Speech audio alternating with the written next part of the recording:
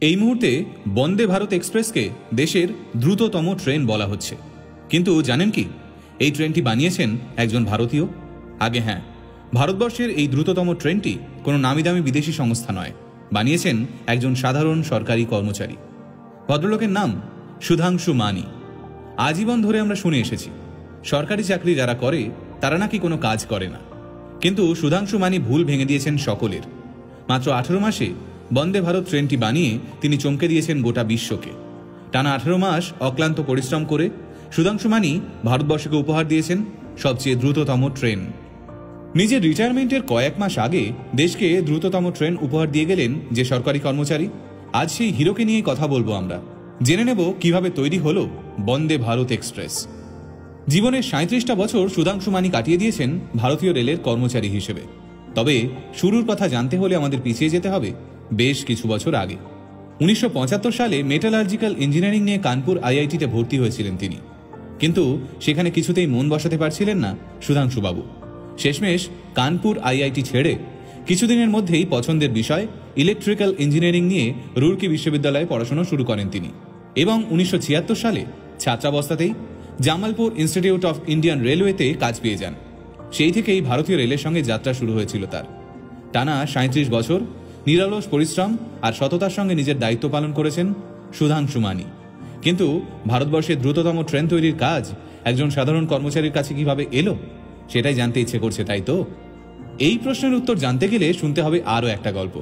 দু হাজার পনেরো সালে ভারতীয় রেল হাই স্পিড ট্রেন চালানোর সিদ্ধান্ত নেয়, যেগুলোর গড় গতিবেগ হবে ঘন্টায় পঁচাশি থেকে দেড়শো কিলোমিটার।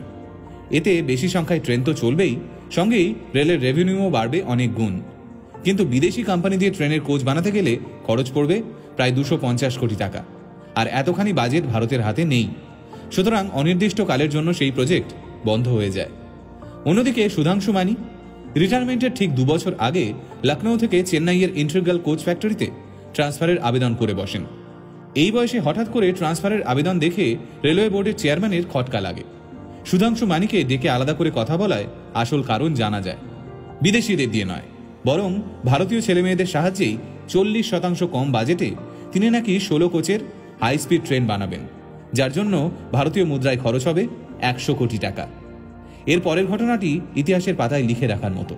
বাজেট অ্যাপ্রুভ হলো এবং তারপর ভারতের ইঞ্জিনিয়ারদের নিয়ে টিম তৈরি করলেন সুধাংশুবাবু দু বছরের অক্লান্ত পরিশ্রম এক উত্তাশ্চর্য রূপ নেয়।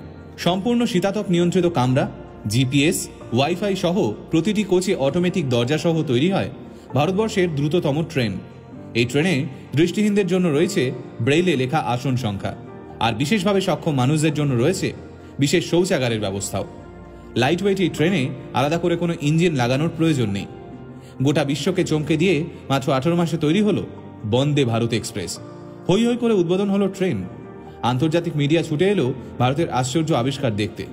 ঠিক সেই সময় নীরবে নিজের রিটায়ারমেন্টের কাগজে সাইন করে সবার অলক্ষ্যে ভারতীয় রেলকে বিদায় জানালেন বন্দে ভারত ট্রেনের আসল কাণ্ডারি। আপনি ভালো থাকুন সুধাংশু মানি। আলটিমেট মোটিভেশনের তরফ থেকে আপনার জন্য রইল অনেক অনেক শুভেচ্ছা। আপনাদের মতো নীরবে লড়ে যাওয়া হিরোদের কথা কেউ না বলুক। আমরা বারংবার বলব।